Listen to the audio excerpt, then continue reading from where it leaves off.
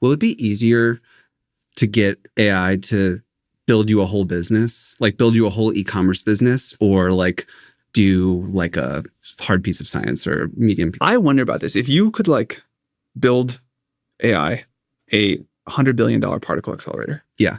and say you make the decisions, you look at the data, you tell us like, uh, you know, what experiments to run, and we'll go like find the stuff and do it.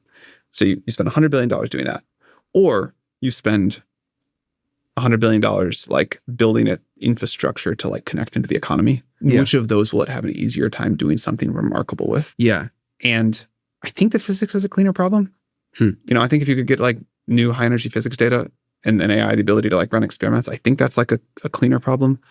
Um, I've heard people say that they expect the first area of science. I, this is like I don't know if this is accurate or not, but I've heard people say that they expect the first area of science where AI makes autonomous new discoveries to be astrophysics Hmm. because there's just mountains of data and we don't have enough PhDs to look at it. Hmm. And maybe it's not that hard to figure out new stuff, but I don't really know. Okay, so science gets better. The coding and chat will just keep getting better.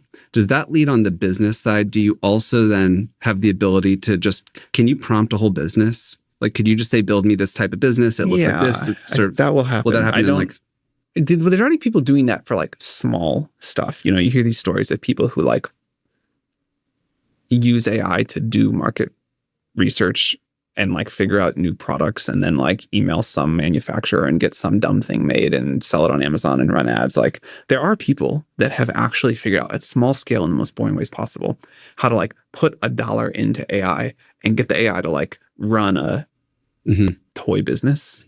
But it's actually working. Yeah. So that'll climb the gradient. Yep. What about in the world of like physical stuff? Because like I get that. I mean, it seems to me, you know, very clear that like software is just going this direction. Science, I know less. Take your word on it. What about like moving physical things around? Behind, but I think we'll get there. Uh, for example, I think we have some new technology that could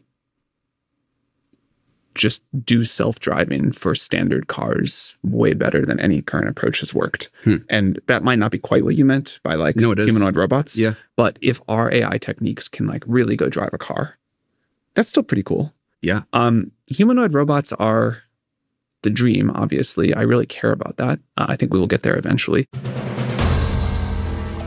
If you like the video, do like, comment, share and subscribe.